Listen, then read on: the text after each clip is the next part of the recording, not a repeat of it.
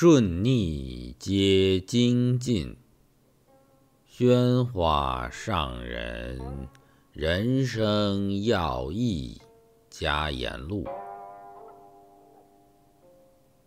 要学好，冤孽找，想成佛，魔来考。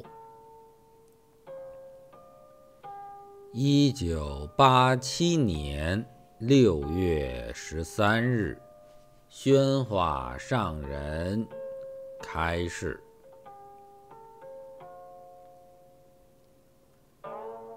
有些人练习坐禅，一个一个星期过去，觉得很有进步，身体健康了。精神也快乐，烦恼一天比一天少，智慧一天比一天增长，也没有什么忧愁嗔恨。这是坐禅功夫相应的表现。有的人来坐禅，则心忙意乱，妄想纷飞，愈坐愈烦躁，坐不住。本来无烦恼，现在做出烦恼来；本来不忧愁，却做出忧愁来。甚至坐在那儿打钱的妄想，打玉的妄想，或云坐禅没有什么用，不能令我得到好名誉；或想坐禅不如到餐馆去吃的香甜。有些人又想，倒不如在家里睡多一点，比来这里更舒服。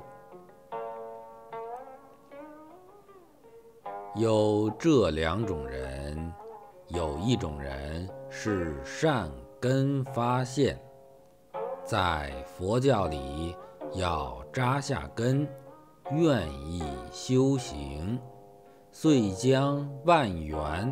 一点一点放下，等到善根成熟，便成佛。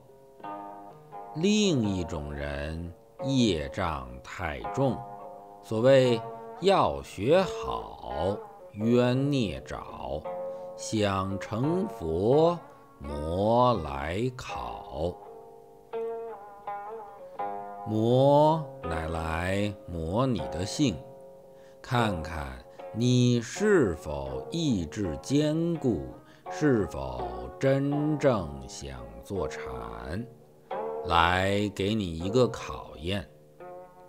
这时你不要被境转，要顺逆皆精进。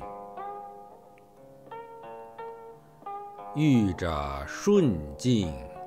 要往前求进步，遇着逆境仍要往前求进步。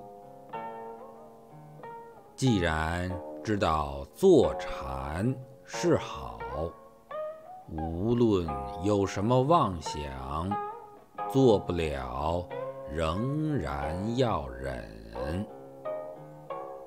这就是功夫上有进步，要发大菩提心，将来一定成佛。要用坚、诚、恒三条件来克服任何境界。坚，要有坚固心。面临任何境界，照样用功。诚，谨慎其事，对参禅至诚恳切，不存虚伪心。恒，恒常不变。我想做一件事，要始终如一。开始坐禅后，要贯彻始终，彻底明白、认识本来面目。如是，才能了生脱死，才能达佛果。菩提，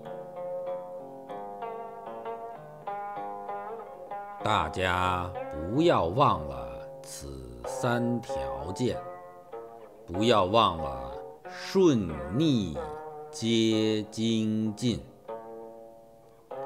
此是到佛国之资粮和本钱，令你。一定达到目的。